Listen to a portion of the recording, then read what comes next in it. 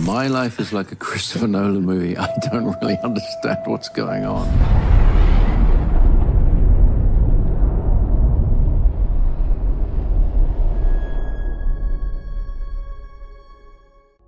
We imagine a future.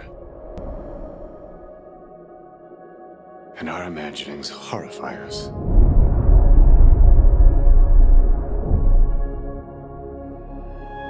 They won't fear it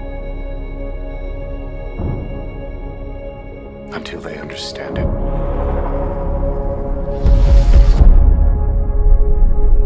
And they won't understand it until they've used it.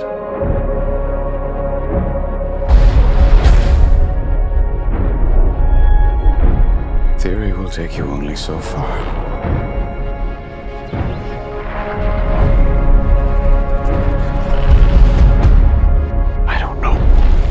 Trusted.